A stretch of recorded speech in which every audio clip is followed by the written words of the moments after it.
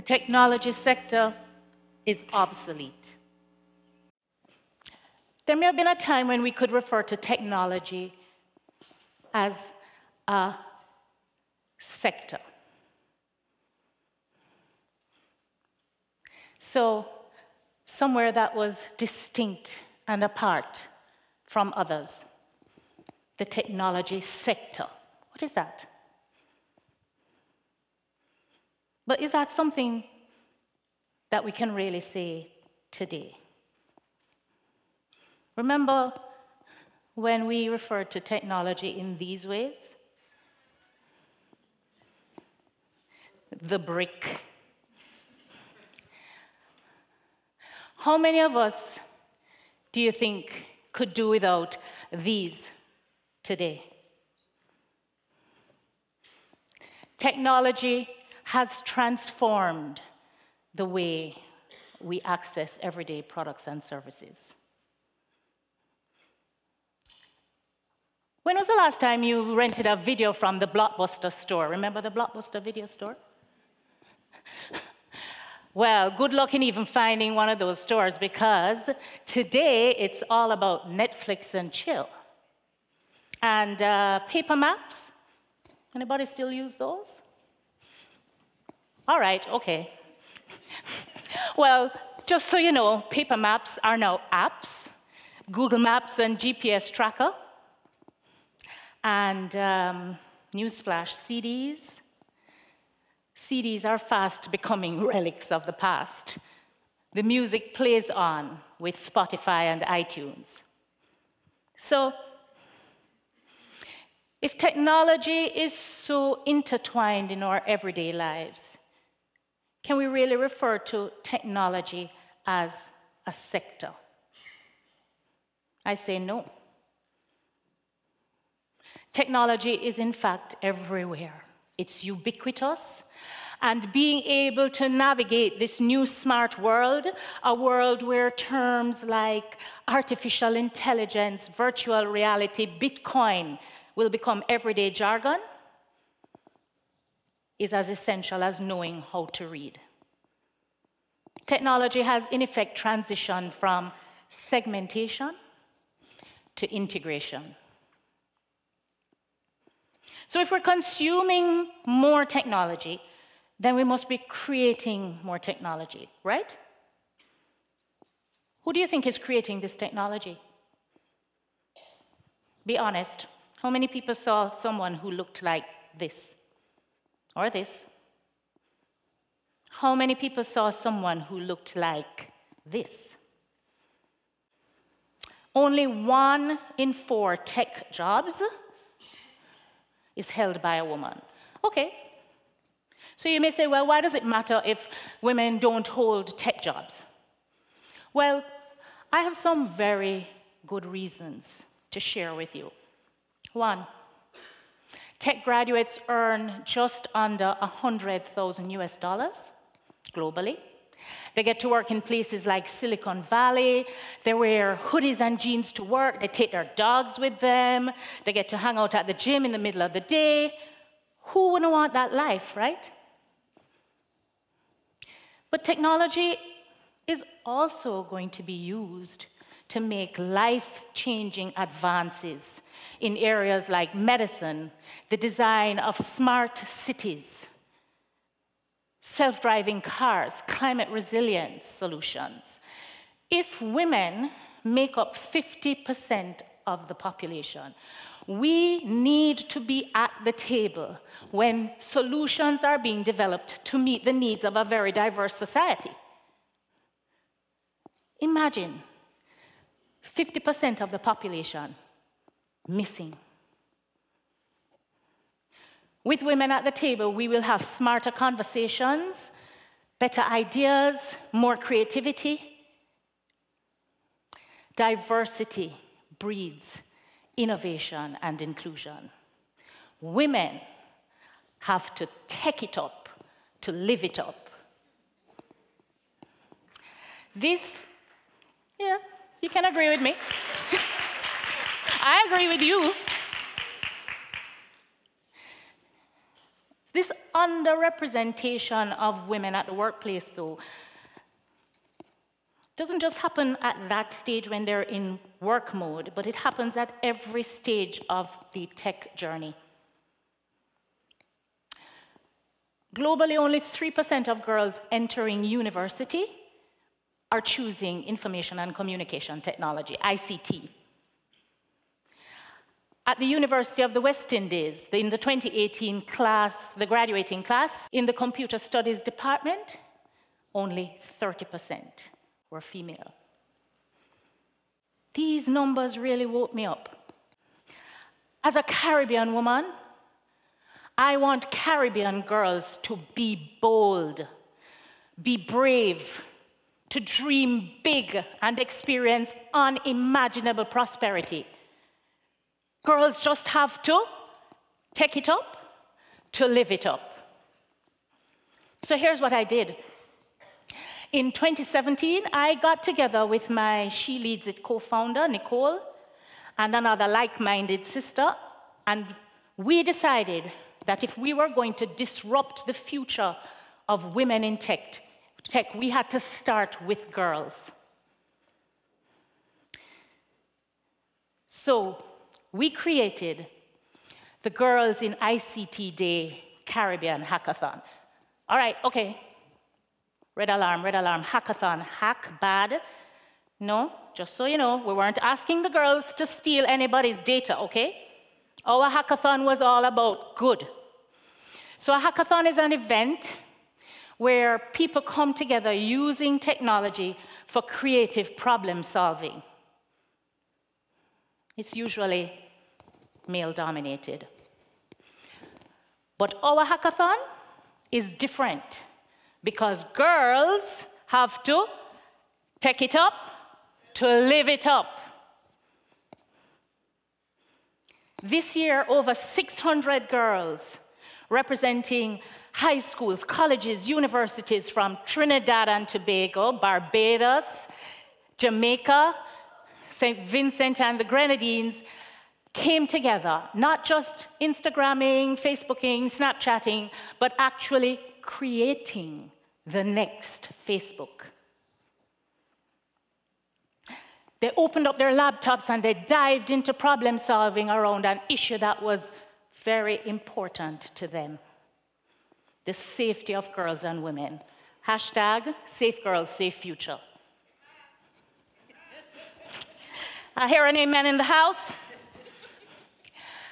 We asked them to focus specifically on girls being home safe, street safe, relationship safe, and cyber safe.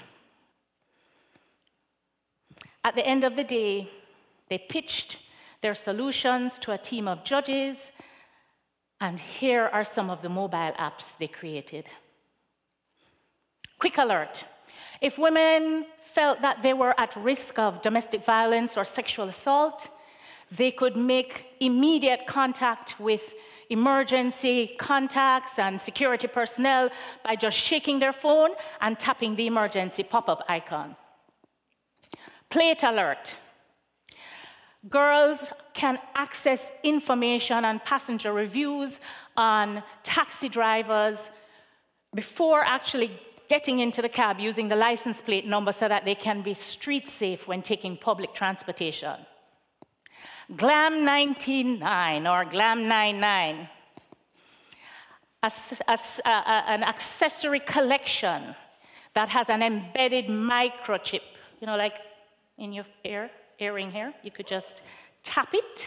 It sends a link directly to your mobile phone if women and girls feel that they are in any way in danger or in an unsafe space. It will send an SOS message directly to your emergency contacts, to the security personnel, and it will pinpoint your location.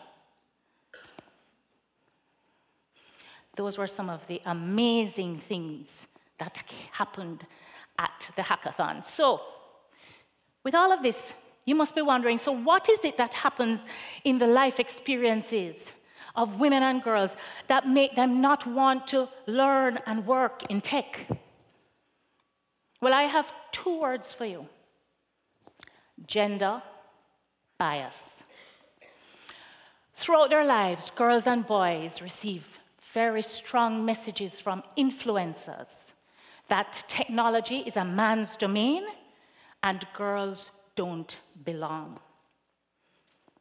Families. Parents teach boys to construct things, put things together, pull them apart. You remember the juice box and bottle stopper trains? Girls are taught to play with dolls and tea sets. Teachers. Teachers encourage boys to take tech subjects, and the few girls that slip through are told, You are one of the boys. When all along they've been told, Be a girl. This can create all sorts of confusion and insecurities with girls around their femininity. Companies. Companies pay women in startup tech jobs globally anywhere from 4 to 45% less than men. Let that sink in. A woman is earning half of what a man is earning somewhere in the world for doing the same job. Women oftentimes meet the maternal wall where their commitment and their competence to their job is questioned because they choose to have a child. They feel isolated and alone without a supportive network of role models and mentors, and no surprises here, they're more likely to leave the job. At our hackathon, these influencers, they have to show up, but they have to show up with a very different message one that says, You are enough and you belong. Girls, tech it up to live it up. So here's what we did parents had to give their express approval, permission for the girls to attend the hackathon. They had to actively opt in. Teachers, teachers had to train the teams, select the teams to start, and then come with them to support them during the event. Companies, we couldn't have the event without companies. They, provide, they, they provided all of the money that we needed to have the hackathon. They were visible during the day as tech speakers, role models, and they provided prizes, tech gadgets, cash, bursaries, internships, sending a very strong message to the girls we want you in tech, and you should be rewarded for the work you do. So, what were some of the wow moments? One team of girls, they were so empowered and inspired by what they had experienced that day that they decided that they were going to go back to school and organize their own hackathon with the support of their teachers. Two companies, two big companies, awarded internships to two of the university teams. At the end of the paid summer internship, one company extended the internship throughout the school year and hired one of the girls as a design engineer. Chaguanas North Secondary School, right here in Trinidad and Tobago. Shout out to Chaguanas North.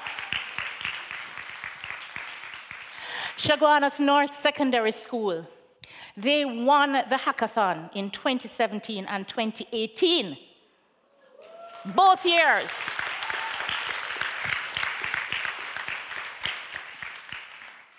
They decided that they were going to enter their winning cyberbullying app in a local tech startup competition. Guess what? Out of 48 submissions, they came first. They won $10,000 US from an international funding agency to take their app through the development phase. They weren't happy about being local, so they decided to go global. So they entered the cyberbullying app in a global tech startup competition organized by one of the world's largest tech companies. And out of hundreds of submissions, they placed in the top 50. That's Chaguanas North.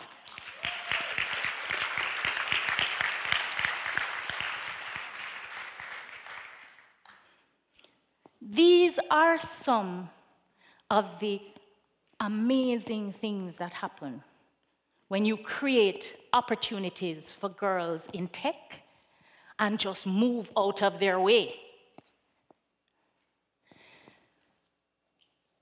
Imagine, imagine a world where girls and boys are free from bias and boxes, free to be anything they want to be. Where instead of you can't, it's I can. Where instead of you don't belong, it's I claim my space, I am bold, I am brave, I am enough. This is a world that I want to live in. Do you? Girls, tech it up to live it up.